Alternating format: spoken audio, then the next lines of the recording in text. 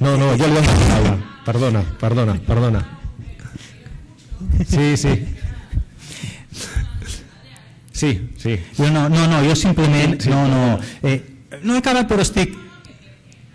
Gràcies, no, gra gràcies per l'apunt, gràcies per l'apunt, perquè no he acabat, si, si, simplement només em faltava un, un punt, una cosa, una cosa, que era com a adolescent que ets i com a persona que tenim aquí al davant i nosaltres com a cercadors que som, lo important que és descobrir a l'altre, la persona que el tenim al davant, al noi i a la noia. Perquè descobrint com és, arribarem i podrem entendre eh, què ens pot aportar i ell podrà veure que l'estem reconeixent.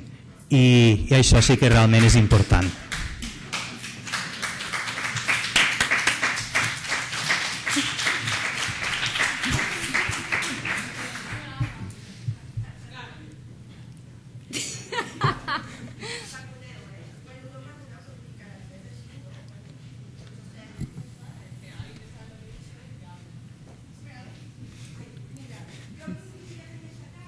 Aquí està poguda, eh? Tampoc, doncs tenim en el, no, l'oculista no. El, bé, us proposo, us proposo un altre joc, així, per anar... No, no us importa, no us tallo el rotllo, no? Vosaltres, No, no, Molt bé. Una mica, no. Una mica? Ostres, sí? Ai, ho sento, si de fet això era per... Ai, Mariajo, per favor. Bé, no, seguint una mica amb la línia d'abans, perdoneu, eh, però una altra cosa que faig jo molt amb elles també, seguim jugant a, a fer les coses d'una manera diferent, a improvisar, i com que de vegades això d'improvisar els hi costa, perquè clar, tenen por fer el ridícul i ah, jo no vull improvisar res, jo vull quedar bé amb tots, perquè què pensaran si no... No? M'enteneu el que vull dir? Gràcies. Eh, doncs una altra, la, la manera més fàcil és dur la contrària.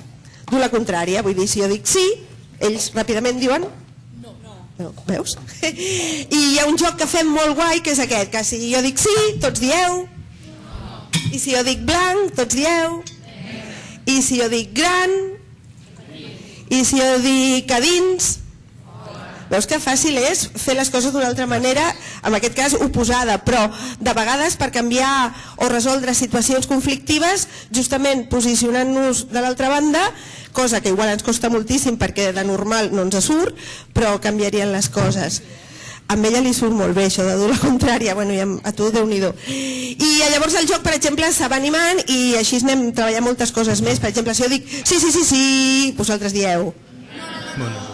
Veus? Ara ja estem fins i tot cantant. I si jo dic sí, sí, sí, no. Si no. Veus?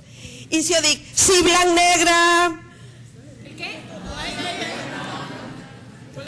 A veure, repetim, repetim. No, no. Eh, si jo dic blanc, gran, petit. Això ho tallo ja? Bueno, Si jo dic sí, no, no, sí, sí. Oi, hi ha, hi, ha, hi ha algú que s'ha dormit i tot, però veus, és perquè cantem com una nana. A veure, seguim. Eh, si jo dic dolç. A dalt. Oi, nenes. Ai. Això ho tenia dit sense el micro. Eh, tranquis. Va, fem l'última prova. Per exemple, si jo dic sí, no, gran, petit, dolç, salat. No, sí, petit, gran, sa salau, dolç. Eh, eh, fins i tot tu t'has despertat ara. I si jo dic sí, sí, verd.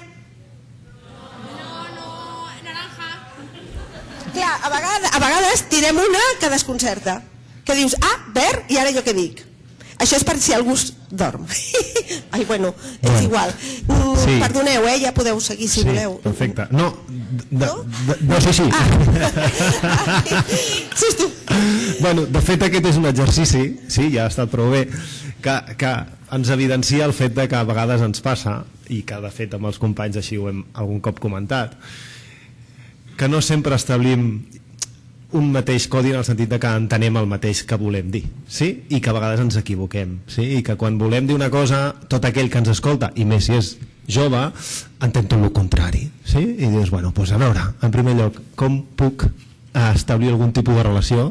I aquí entrem en un nou pas, recordant allò que deia l'Òscar, que un cop identificat el jove, sí? cal anar un pas més enllà i cal anar un pas més enllà amb un grau d'exigència que és relacionar-se amb el jove sí? i aquí està eh, hi ha un objectiu clau un objectiu d'entrada difícil un objectiu que no tots l'aconseguim amb tots per igual sinó que hi ha diferències de relació sí?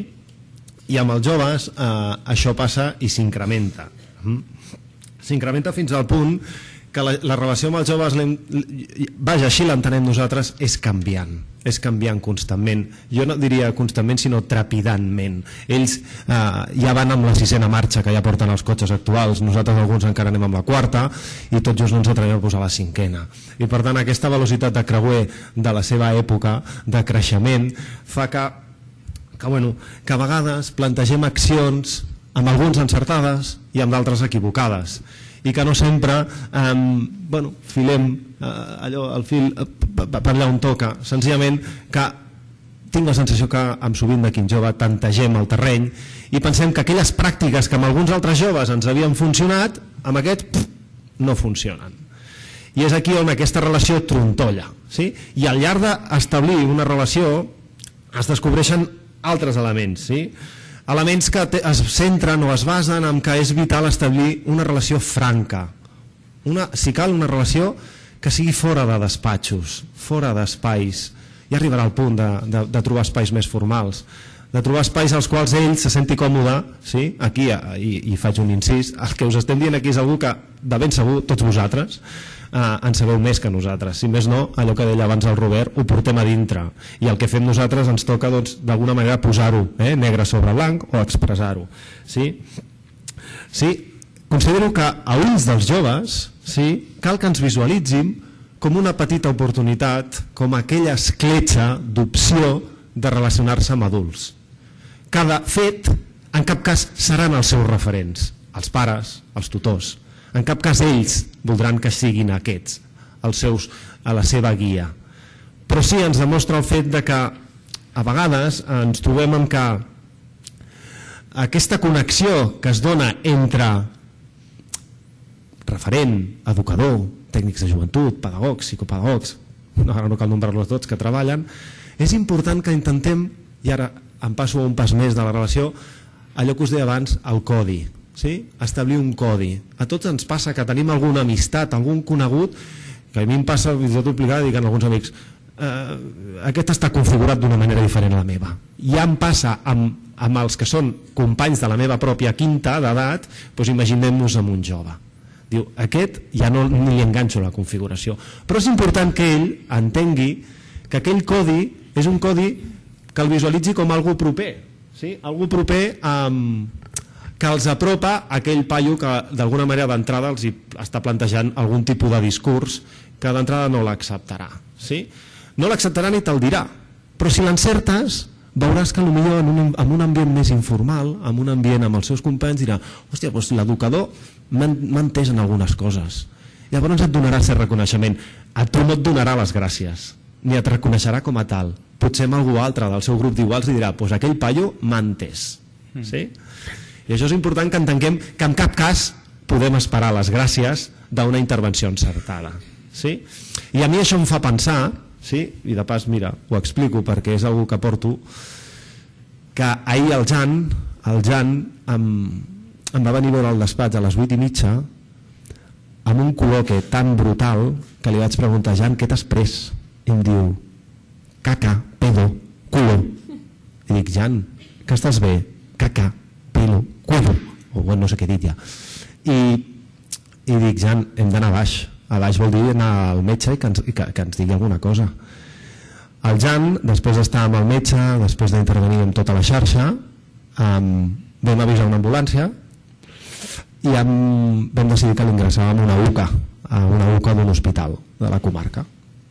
El Jan, sortint del que és la, el que és la, la consulta del, del metge, em diu, em mira els ulls, em diu, a, a banda d'escopir-me, que em va escopir, però bueno, ja, ja ho accepto, sí? Abans li vaig una galeta, li vaig una aigua, perquè mm, bueno, no havia menjat des de feia dies. Em diu, amb una mirada que vaig pensar, ostres, això em fa, em fa que tinc que estar aquí. Em diu, m'acompanyes a l'ambulància? I el vaig acompanyar a l'ambulància, sí? el Jan, des de l'ambulància, amb una vista perduda, em va com dir, ja ens veurem. El Jan em truca la policia al mòbil i em diu que a les 3 de la tarda d'aquell mateix dia s'havia fugat de la UCA. Sí? Però, perdó, em va donar l'oportunitat de que a la tarda pogués tornar-lo a veure. Tornar-lo a veure perquè el Jan em va tornar a venir a veure. I em va tornar a veure amb una incertesa de que jo dubtava de que si aquell acompanyament a l'ambulància que li havia fet era l'encertat. El Jan va tornar a ingressar a l'UCA aquella mateixa tarda, però vaig decidir que jo l'acompanyava fins a la porta de la UCA. Sí? I en aquesta pràctica que vaig decidir fer, eh, jo i ell, principalment jo, que sóc egoista, em vaig quedar més tranquil. Sí? Però ho vaig situar en una opció, en un entorn, en una qüestió de que per mi allò era un acompanyament, el que el Jan en aquell moment esperava. I també vaig constatar que el Jan no m'ho diria ni em donaria les gràcies. Senzillament aquella mirada que em va fer ahir ja em vaig tenir prou. Sí? I això em fa pensar que a vegades, en depèn de quin, es pot establir un codi més proper i en depèn de quina situació, no. Amb el Jan, després de 4 anys, si no ho pillo el codi és que poc puc fer-hi. I és allò de que si tots tenim un ADN, jo dic abstener-se a aquells que són inflexibles i hermèticos per treballar amb joves. Sí? Bueno, i, i, i a partir d'aquí bueno, aquesta relació que us deia que a base del codi, a base del, del diàleg que ha anat sortint en, en les nostres sessions, penso que en aquest univers juvenil no val qualsevol resposta a la problemàtica, no val, sí? dels adolescents. Penso que aquesta resposta sí, és part de la solució, o bé és una possible solució. Sí? I que no tots els problemes que presenten els adolescents tenen la mateixa solució. Probablement el que jo, com tracti el Jan o com tractem nosaltres el Jan, serà diferent a com tractaré algú altre. Sí? I al fil del que el comentava l'Òscar, sí? um, en aquest diàleg de mons oposats del que és l'educador, el professional, el que és la, el, el jove, sí, és important que estem convençuts que l'adolescència, jo ho veig així, és un temps d'espera il·limitat. Hi ha alguns que li dura fins als 40 i altres que li dura fins als 15. Però aquest temps d'espera il·limitat és un temps que els adolescents, els joves, això m'he equivocat, vull dir joves, mmm, l'han de viure. I l'han de viure amb tota tranquil·litat i l'hem de respectar. Sí? I hem d'intentar que aquesta provisionalitat de resposta formi part d'una normalitat de conducta sí? i de comportament. I si no ho acceptem així, ens trobarem amb que allò que van acumulant o que pensem que acumulen són fracassos, quan potser per ells no ho són, sinó que a vegades la solució que els hi plantegem per ells sí que ho és. I és la diferència entre què vull jo i què espero que faci quan el ritme de l'altre no és el mateix. Sí? No sé si estic tot d'acord amb mi o companys, no sé si estic anant per los cerros de Úbeda, però no, no, és el que dèiem, és el que comentàvem, la importància de poder respectar aquests temps, aquests espais, perquè així es va creant eh, tot, el, tot, tot, tot el que fa necessari per, per aquest vincle i aquesta mm. confiança. Això sembla que siguin paraules que són màgiques i que són paraules de no, és que, que tens vincle amb aquesta persona. Mm, el vincle es fa amb coses com aquest acompanyament mm. o es fa amb coses com amb aquestes mirades sí. amb aquestes escoltes. I no, i no veure-ho com un com un temps d'espera negatiu, no? perquè de vegades quan tenim, ens trobem en situacions conflictives no només tens la situació en sí que és conflictiva, sinó que el fet de, de tenir una mirada a, a l'adolescent o a aquell període que està vivint com algo negatiu, perquè no el sabem gestionar bé, perquè no ens sabem adaptar a, a les necessitats, doncs ens, ens provoca un altre un, un segon problema, no? I llavors és, acaba sent tot, una, tot molt nefast, no? una, una, una mirada molt negativa, no? tot és...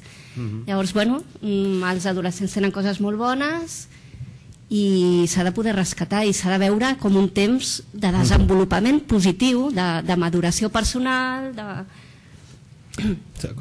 A mi això també em genera, em fa pensar que, i m'he fet un llistat de coses que al llarg de, dels anys que en aquest cas porto treballant amb, amb, amb joves, eh, que ja, jo m'he fet un llistat en quant a assumir que treballar amb joves implica diverses coses. Sí? Implica diverses coses que a vegades és bo escriure-se-les perquè a vegades ens en oblidem. I entre elles hem apuntat que l'adolescent es pensa que ho sap tot. Sí? Treballa amb adolescents que ells estan convençuts que ho saben tot i que tu poc els hi podràs dir d'allò que ja es pensen que saben. Que ens toca ajudar a descobrir, sí? ens toca, i així ho vam pensar amb el grup cercadors, ajudar a descobrir el que no sap, que, ens, que hi ha coses que no sap, sí? i que evidentment allò que us deia no reconeixerà que no sap i que quan les expliquis tampoc et donarà les gràcies i si les esperem ens equivoquem sí? perquè per un adolescent sí?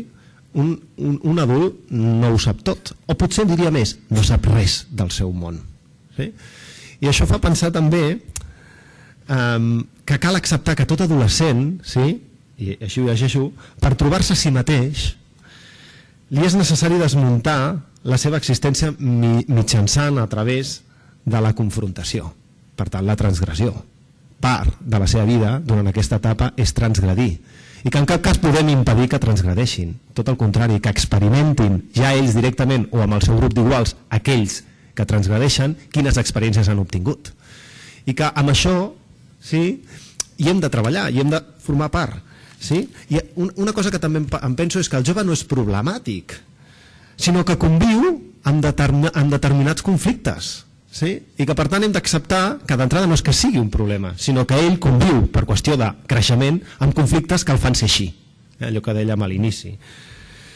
I allò que també tendim molt a fer des de l'àmbit de serveis socials, que potser és d'on provinc, però també amb joventut, també amb, amb mediadors, que és que el jove no té un historial, senzillament el que té el jove és una història. Una història que el que fa és que gràcies al diàleg, gràcies a aquest acompanyament, gràcies a aquesta identificació d'aquell que és el, el referent, en, pugue, en puguem aproximar i que ens ho pugui explicar i donar pautes a que, bueno, que tendeixin a caminar, per, tot i que són terres movedizes, però que no siguin prou profundes. Sí? Els joves sempre acumulen vivències del passat és així. I així els hi preguntem, però no fem la reflexió ni ens plantegem quines són les vivències que volen viure en el futur. Sí? I que potser també els hi preocupen. Sí? Perquè encara que ens hi sembli, els joves també tenen vivències o pensaments de quin serà el seu futur. Um, bueno, a partir d'aquí jo um, també m'agradaria introduir el, el que seria el criteri de la voluntarietat, de sense una voluntarietat per part del jove d'acceptar-te i de treballar plegats serà difícil aconseguir reptes o fites comunes sí? i la voluntat... pasa que, Sí. que es que, es que voluntad, voluntad, yo como que me cuesta, me, no, me, me, que veo cosas que, ojo, como me gustaría ser así, así, pero... Que, me falta que le deje el micro, ya por si que ya... Hombre, que me falta motivación, ¿sabes lo que te digo? normal. A ver, ahora, sí. no tienes motivación. Me cuesta un poco, ¿no? Digo que tú... Ah, perdó, eh? És que, no sé, és que es pensa que ara està com que... Bueno, ja va bé. Però ja, ja va bé, no? Jo per això no li dic res, perquè penso que també està bé que diguin coses, no? Els joves, que si n'hi ha dos aquí... És que sempre passa a vegades, no?, que estem parlant dels joves i ells no hi són. Que estaria molt bé que hi fossin més. Jo per això les he portat, eh? Sí, perquè sí, penso que quan parlem d'ells hauríem de ser aquí també, perquè tenen molt a dir justament quan estem dient coses, no? Bueno, Sí. perdoneu, eh? Ara jo tampoc no sé per què estic parlant. Ai, ara m'he liat. No, deixa-li parlar a la jove, que no deixes parlar. Va, Sí, perdona. No, parla, sí, no, no, no, que tú, que tú. No, no, que- parla tú. No, que, que, que, que el Adrià... No, que tiene razón, es eso, que falta voluntad, que me falta voluntad y... Hombre, que tú, tú ya sabes, que nos conocemos hace tiempo, ¿no? Sí, sí, clar. Que, que està d'acord, no? Ella diu que està d'acord perquè els hi costa, no? També és una etapa que estàs com, a vegades, no com primaveral, sempre, sense... No? Desmotivat, això ha dit. Bueno, no sé. Eh, tu, tu havies acabat, és que sempre tallem a la gent d'una manera... Perdoneu, eh? No, no, no, no, no hem acabat perquè treballem en conjunt, vull dir que jo dono la paraula... Ah, ah, ah. Sí, sí, és que jo ho pregunto perquè, clar, entre un i l'altre, pues ara ja ens ha agafat... La aquest meva part està acabada. Sí? Ai, gràcies, eh, perquè ens ha encantat, eh? Em- Un aplaudiment, un aplaudiment. Oi, oi. Oi, perdoneu. Bé, perquè entre, entre un i l'altre, pues, apa, jo fico un altre joc i així tots contents. Que us, no, bueno, tots no ho sé, però potser alguns. Sí. Ara, ara anàvem a proposar una cosa que era un joc de confiança, perquè moltes vegades el que els hi passa és això, que no confien, no confien en nosaltres. No? Jo estic treballant amb elles des de fa ja bastants anys i, home, molt millor, eh? però desconfiar, a la mínima ja desconfiar. Per exemple, avui, quan veníem, ja estaven dient, vaya rollo, no quiero venir, a dónde nos llevas, eh? Clar, no confien però, i mira que hem fet jocs eh, de confiança oi n'hem fet, però en tenim un que és molt xulo va, els ensenyeu a la, a la... Sí, va, agafeu dos voluntaris, o sigui, agafeu dos voluntaris, vaya contradicció. O sigui, agafeu a qui vulgueu, o qui es deixi, em deixeu passar. Gràcies. Eh, I us fem una demo molt, molt ràpida de com és aquest joc. Va, sí? La, la Mariajo i la Nata agafarà, cada una escolleix amb una persona, sí? Ja veureu, tothom, tothom voldrà fer-ho perquè com tots són gent que està acostumada a aquestes coses. Mira, miren amb una cara. Vinga, Natàlia. Ja, molt bé. Què, Natàlia, ho has aconseguit? Sí. Vale. Bé, aquest és aquest joc que potser molts ja coneixeu, que es fa per parelles, un tanca els ulls i l'altre li fa un so petitet i el va guiant pel, pels llocs. Clar, la persona, en recordeu-vos, eh? Ara us poseu d'acord qui fa el so i qui tanca els ulls, eh? Això ho necessito ara? Això no, home, no. No, perquè el so, vull dir, a menys que estigui sorda la persona, no. Eh? No. Bé. Llavors, una fa el so, l'altra tanca els ulls i la va guiant escoltant el so, sí? Clar, la persona que tanca els ulls ha de tenir confiança i la persona que fa el so l'ha de cuidar. Clar, perquè tu cuida-la per favor perquè ha costat molt que tingui confiança i clar, si ara es pega una castanya doncs igual la perd ja per sempre bé, preparats? preparades? perdó? sí? va, a veure, fem la demo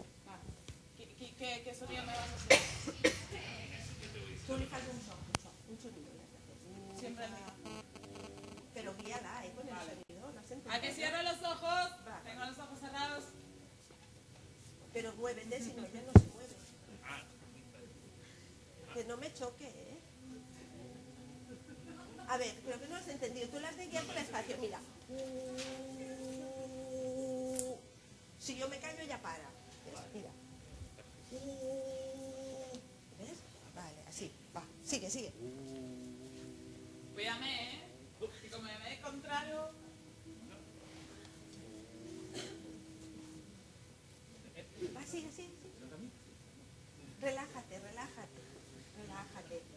Que no lo conozco de nada, ¿cómo me voy a pero él te va relajar? a cuidar vale. Venga, Mariajo, que solo tienes que cerrar los ojos. com va per aquí? Aquí bien. a veure, fes, fes, a!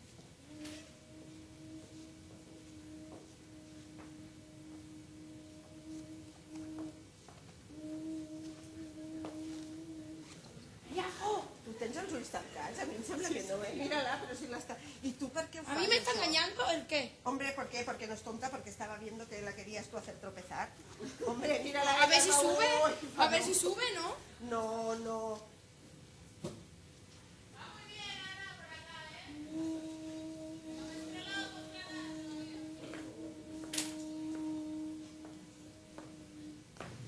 Bé, això és una demostració, veieu, de- d'un joc de confiança. El coneixeu, aquest joc de confiança? Sí, eh? és molt normal. Bé, doncs això, només us volíem ensenyar aquest joc de confiança. Moltes gràcies a aquests que heu col·laborat. Gràcies.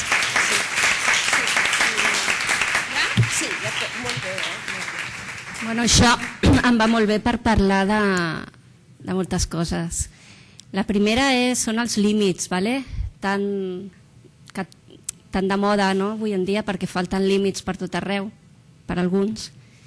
Eh, necessitem referències, ¿vale? Eh, un cec, com vosaltres quan entra en una sala el primer que fa és palpar, no? saber on estan els límits recordar aquelles referències que el fan, el fan estar més segur, poder caminar per la vida. Eh, llavors, bueno, adolescència igual, no? Ja que estem parlant de joves, eh, estan en ple desenvolupament i també estan posant-se límits internament i aprenent els límits externs, no?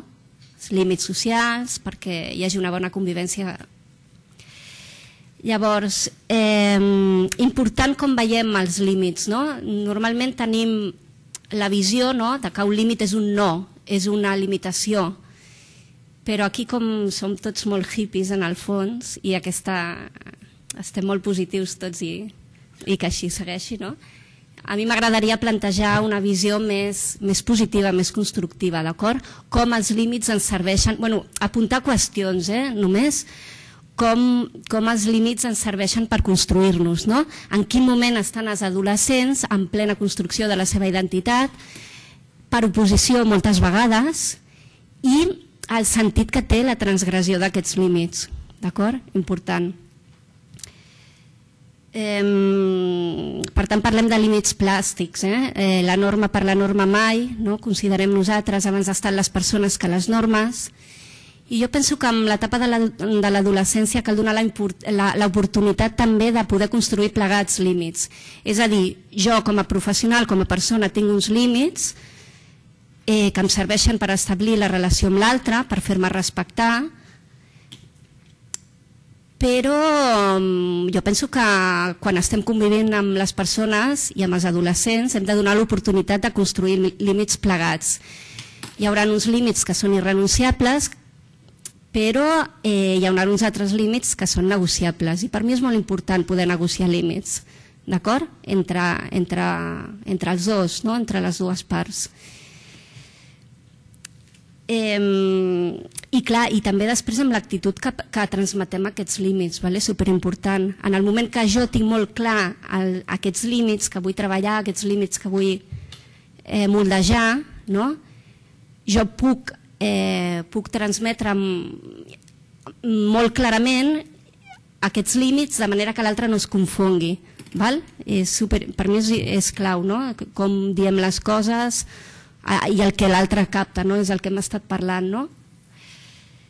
Eh, bueno, mm, jo penso que educar és ajudar que cada un construeixi els seus propis límits a partir de la consciència de la realitat, val?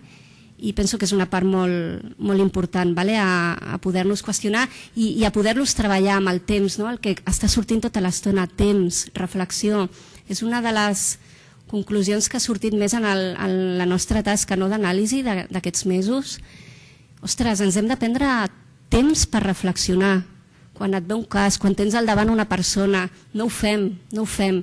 Moltes vegades les urgències no, de, que, de les quals parlem, nosaltres que treballem per l'administració, eh, quan hi ha molts interessos pel mig en el sentit de que hi ha moltes parts afectades i, i et venen els regidors o et venen qui sigui i has de resoldre aquella situació que realment moltes vegades analitzes que no és un, un conflicte real o, o és un conflicte eh, bueno, ho dubtes, no? Si realment és un conflicte per, per qui ho demana, no? Per qui... Llavors, és, jo penso que és superimportant aturar-se i, dir, i poder dir que no, no? I poder dir, bueno, què passa aquí, qui, qui, qui vol què, no? I, i poder-ho analitzar, tenir aquest, aquest temps que, no? que, per tot, no? Per tot per tot. Vale. Bueno, ens trobem dificultats a vegades com a professionals per posar límits eh, ens, i els pares també es, es troben. Vale? I veiem que moltes vegades, quan estem treballant amb menors, eh, un moment, eh, la influència o les interferències que venen per part d'altres parts són molt importants de poder-les recollir d'acord? Us poso l'exemple dels pares, val? Tot i que sabem que l'adolescència, eh, quan ets adolescent, t'intenta separar bastant dels pares i diem que no són referents, sinó que, bueno, que no, que no, que els pares ben lluny, això no és cert. Val? D'alguna manera el, la família, els pares continuen sent referents. No? Em sembla que hi havia una, una enquesta del 2006 de la Gene que, que deia, bueno, qui, qui, a, a quin lloc, quin és el lloc o quin és l'espai on tu expliques, on tu reculls aquells, aquelles coses que són importants a la teva vida, no? o que, que tu dones l'opinió o que tu reculls l'opinió. I en primer lloc era la família. ¿vale? Per tant, no sí però no, d'acord? O sigui, llavors, com, com d'alguna manera nosaltres també amb els processos que entrem, entrem de resolució de conflictes interfereixen altres, altres parts. Jo em centro en els pares, que és l'experiència que més, més a prop he tingut. Vale? Us explico Bueno, al cas nosaltres quan, quan hem, vam plantejar les històries del dia a dia del, del darrer treball, eh, bueno, nosaltres vam, vam treballar la mediació, la, la, la mediació amb un conflicte de, de pintades, de grafitis. Val?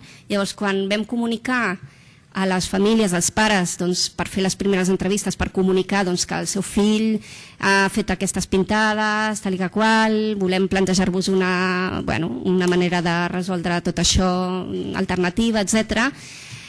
Eh, les reaccions van ser molt diverses, no? O sigui, des de pares que negaven els fets, no, no, és que el meu fill no ha fet això, no, no, perdoni, és que tenim, tenim fotos, tenim... Mm, a, reaccions molt bèsties de, de fotre bulles molt, molt fortes allà al davant, eh, inclús dir que la policia s'ho havia inventat perquè, bueno, perquè els hi tenien mania, vale? hi ha di diverses reaccions no? de, de part dels pares. Llavors aquesta, aquesta, això, aquesta manera d'afrontar una situació difícil mm, clar, tu estàs fent de mirall pel teu fill, no? què li estàs dient? Què, què hi ha darrere de tot això? No? Llavors jo penso que s'ha de treballar molt i és, doncs, per exemple, eh, històries com la culpabilitat, que, que estan allà jugant un paper important i que s'han de poder reconduir, no? perquè el, quan estem treballant amb, amb situacions aquestes difícils el que estem dient d'alguna manera és que has, tu has fet una cosa dolenta, no? llavors el teu sistema moral trontolla i això crea una sèrie de sentiments molt desagradables. No? Eh, llavors, com per exemple poder donar-hi la volta i reconduir tot això, perquè doncs ja us dic, no, les reaccions són eh, bueno, això toca molt l'autoestima i l'amor propi, no? llavors les reaccions són molt de fugida. No? Llavors, com fem que davant d'un problema que tenim puguem donar-hi la volta i la gent acabi implicant-se? No? Doncs, bueno, eh, el nostre enfoc sempre és no culpabilitzador, val? I de dir, a veure, una mica de culpa va bé, eh? o, o responsabilitat, perquè d'alguna manera qui està admetent que ha fet una cosa que no està bé és que té un sistema, de, un sistema moral i, i pot reconèixer la realitat. No? Qui fa una cosa que està malament i nanai, o sigui, no reconeix absolutament res, és que aquí falla alguna cosa, no? però una miqueta més enfocat cap a responsabilitat, perquè la societat que estem és inocente culpable, no, no és gaire bo això, Eh, com li donem la volta, no? Doncs, bueno, eh, importància, no? Aquest acompanyament del qual parlava l'Adrià, que és superimportant, no? i que l'any també has fet, ha fet esment de que aquest acompanyament no ha de ser moltes vegades físic, no? Ei, estic aquí, estic aquí. I quan em necessitis eh, pots venir a buscar-me i quan no ho necessitis també estic aquí però no físicament, no? Això és superimportant. Llavors, poder estar recollint una mica tot, tot això, no? És a dir, hem d'estar per, eh, per poder acompanyar en l'aprendre de, de l'error. Vale? Si hem dit que els adolescents eh, tenen una sèrie de característiques, entre elles que el seu aprenentatge és molt a, a partir de l'experiència, vale? nosaltres podem donar consells, però fins que no se la foten, no se la foten, no aprenen. No? Tenir en compte això, no? és a dir, eh, l'error és un motor espectacular per l'aprenentatge, que, que ens és molt útil i que d'alguna manera, vull dir, tots som adolescents, no? si creiem que estem en plena construcció, bueno, no sé si algú de la sala ha estat tan complert i tan currat que la vida no li ha d'ensenyar res, no? però tots mm, aprenem, aprenem de l'error. No? Llavors, què fem amb aquest error? Doncs l'agafem, ens responsabilitzem vale? i anem a mirar com, què traiem de profit a més a més, no només per compensar, sinó per treure allò, allò millor que podem tenir i moltes vegades descobrir coses molt bones que tenim. Vale, llavors, assumim la pròpia responsabilitat. Pas número 1, podem amb l'adolescent fer relacions causa-efecte, val? molt important, el que dèiem abans de, de les dels, de los glóbulos, glóbulos frontales, dels glòbuls frontals, de, de, de, bueno, que, que no acaben de funcionar bé pel tema de causa-efecte, de poder interpretar les conseqüències o avançar-nos a, a, a les conseqüències. Integrarem la reflexió, vale? perquè fas això, mm, com ho podem, bueno, que hi ha tot, a darrere de tot això, i integrar el procés de decidir abans de fer una cosa I llavors jo, per exemple, quan treballo amb joves intento treballar en contextos nous o amb referents nous, val? És a dir, eh, aquesta és l'excusa, tu mm, estàs fotut amb un problema, vens i llavors jo et busco un altre ambient o uns altres referents que et poden treure de, del teu nucli més habitual i que et poden ensenyar moltes coses i que, sobretot, més que ensenyar, et poden fer treure coses que tu potser no has vist, no? Et poden fer créixer, no?, com a persona. A veure, és com si... A veure si m'explico, eh? Jo trenco una cadira, d'acord? Llavors, eh, una acció compensadora seria arreglar el, el seient, vale? el, cul de la, el cul de la cadira m'he carregat, eh? Llavors jo puc mm, tornar-lo a ficar, enganxar en pega i tal, o el que puc fer és dir, mira, saps què? Dedicaré tres dies i utilitzaré un material que se m'ha acudit i podria fer uns, uns dibuixos, uns grafitis guapos i, bueno, i, i llavors m'hi fico amb allò, m'allunyo del que m'ha portat allò, després ja farem les relacions de causa-efecte, de, ja, ja relacionarem no? el que ha passat, però construeixo algo maco, que em fa sentir molt bé, que farà sentir molt bé els que s'asseguin en aquella cadira, val? estic fent alguna cosa bona per tothom, que tothom en, en gaudirà, i a més a més estic descobrint que, hòstia, serveixo per pintar cadires, jo què sé, o he, he creat un nou sistema de... jo què sé. Enteneu el que vull dir? Una mica? Clar, llavors jo penso que això, o sigui, és l'error convertit en oportunitat. I per mi això és molt valuós, no? tot el que es pugui donar-hi la volta i, i fer més positiu, bueno, i sempre de, des de la perspectiva positiva. Jo he vist canvis molt bèsties amb nanos, tenim un centre obert allà i som molt hippies, eh? nosaltres allà som molt... Però bueno, funciona, a mi em funciona. Eh, de fer les entrevistes, per exemple, a inici de curs, amb, amb profes, amb famílies, i tenir els nanos i els propis pares unes imatges dels nanos mm, bastant esgarrifoses, no? De, de, un nano a segon d'ESO ja està crucificat per, per fer un PQPI perquè no serveix per res més o...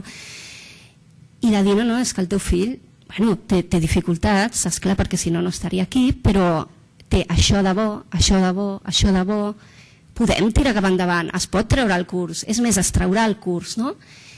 I vas veient com la cara, sobretot dels pares, que ja el- els donaven una mica per desahuciat, i això és, és molt dur pels pares, per cert, van canviant, canviant, canviant, i surten de l'entrevista inclús amb compromisos, no? Què puc fer jo perquè, perquè el meu fill, perquè crec que el meu fill té possibilitats, no? I aquest canvi que és tan evident, no?, de dir, hòstia, eh, tots com a educadors, psicopedagogs i tal, sabem que quan tu projectes algun positiu o quan tu vols treure algú bo d'una persona no l'has de matxacar, ¿vale? perquè moltes vegades utilitzem la, la, la motivació aquesta negativa de o espaviles o suspendràs. Com? Quan donem la volta a això tenim uns resultats brutals, de veritat, de veritat. Són, són molt bons. Vale, llavors, eh, sí, quatre minuts em queden. Vale. Llavors, el, el tema de creure amb l'altre, val? O sigui, és això el que estic, us estic comentant. Vale? Per mi l'educació és un acte de fe. I, i no només mm, fer com a convicció, sinó obrar també, no?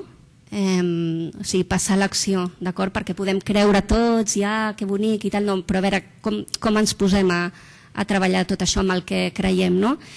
Llavors, eh, bueno, eh, treballant les expectatives que té el nano d'ell mateix, treballant les nostres expectatives, podem fer productes molt bons, no? podem, fer, podem obtenir èxits molt bons. No? Eh, bueno, més que res projectem, projectem les fortaleses dels nanos i, i jo penso que en les nostres intervencions han de ser molt presents. No? Com, per exemple, podem augmentar la confiança en l'altre. Primer, creure vale? i pensar que aquella persona que la veiem com que no té potser gaires habilitats i tal, pot tenir alguna habilitat fantàstica que, que pugui fer, fer que aconsegueixi alguna molt bo. No? Enfatitzar les fortaleses, d'acord? Quan faci alguna cosa bona o quan veiem alguna cosa bona, estar allà i poder-ho dir públicament, per què no? I també acompanyar a rescatar aquells èxits passats no? que tots tenim i que moltes vegades als nanos els hi costa molt de reconèixer. Llavors tot això fa que moltes vegades quan no tens aquella, o aquella llavor està dormida puguis fer-la una miqueta eh, brotar, no? I també el tema de, de com, quines accions plantegem, no? Ja ho sabeu, no fer coses, eh, sobretot al començament, coses que siguin possibles, èxits petits, no? No anar-nos molt, molt lluny, no? Llavors, bueno, tu, tu t'havies quedat una miqueta amb el tema del reconeixement quan ens han tallat, eh? I... No, no, ha estado muy bien, ha estado muy bien. Estan molt bé les teves aportacions. Bueno, la importància de reconèixer l'altre, perquè l'altre, si no hi és, si tu no el, no el veus, no, no existeix, d'acord? En el moment que tu reconeixes a l'altre, amb les seves peculiaritats, amb les seves característiques superimportants, l'estàs elevant a una categoria superior, l'estàs valorant. Eh, bueno, el, el cas de la, de, de, la, de la Sinfònica del Vallès amb aquests nanos, o sigui, allà és un reconeixement brutal, no?, de cadascú, no?, cada peça, cada, cada músic, cadascú té un paper, no? Llavors, per mi és, és imprescindible, no? Eh, I reconèixer-nos en nosaltres mateixos com a professionals, no?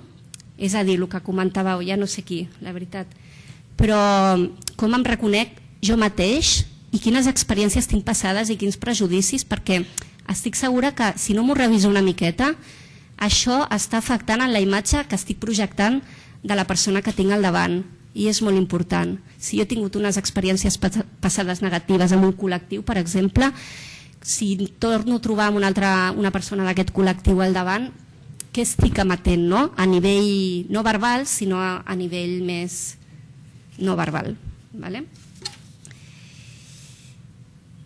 I bueno, tots, acabar de dir que tots eh, teòricament estem en un estat en, que ens reconeix eh, legalment i tal. Jo tinc els meus dubtes, i més amb la situació que estem ara, que tenim una llei nova de, de drets i oportunitats dels menors que a més a més ens enfatitzen amb aquest reconeixement cap als nanos, d'acord? Aquest reconeixement dels seus drets, aquest reconeixement de moltes coses, d'acord? Però que bueno, que, que ho fem servir, vale? que estem aquí, que estan allà i, i, bueno, i això. Ja em passo, oi? Sí? Llavors, parlant de reconeixement, no ens, no ens deixaven tampoc, però jo vull reconèixer a l'Anna i, i al Robert. Ho sento, Anna, ho sento, ho havia de dir. Mm, sobretot per l'amor que donen, ¿vale? i per l'oportunitat de poder treballar el que estem treballant, de veritat. Eh, no sé si us ho hem trans, pogut transmetre de, com volíem, però per mi, bueno, és fantàstic poder estar aquí. És una putada, perquè ho estic passant fatal, però és fantàstic, ¿vale? Eh, el procés és fantàstic i aquest grup, la gent que falta i també bueno, reconèixer aquestes dues pesades que tenim aquí al, al mig a la sala que no estan aquí per, perquè sí, sinó que ens agradaria que ens poguessin explicar una miqueta la feina que fan, que no és res més que, bueno, que com l'experiència de diàleg del, del Dani i companyia, de la Sinfònica, busquem alternatives per, per trobar el diàleg, no? I, i quan parlava abans dels límits, no ens limitem com a professionals, per favor, és el pitjor que hi ha. O sigui, què ens ensenya l'adolescència a bo? Hòstia, a viure, a fer tonteries, a provar coses, a, a transgredir. Eh, no ens, no ens encarcarem com a professionals perquè això és, és horrible. Llavors, no ens limitem mentalment, no? Eh, aquesta gent està treballant amb aquesta línia i jo us, agrairi, a, us agrairia que pugéssiu i, i, bueno, i donar-vos les gràcies a tots. Vale?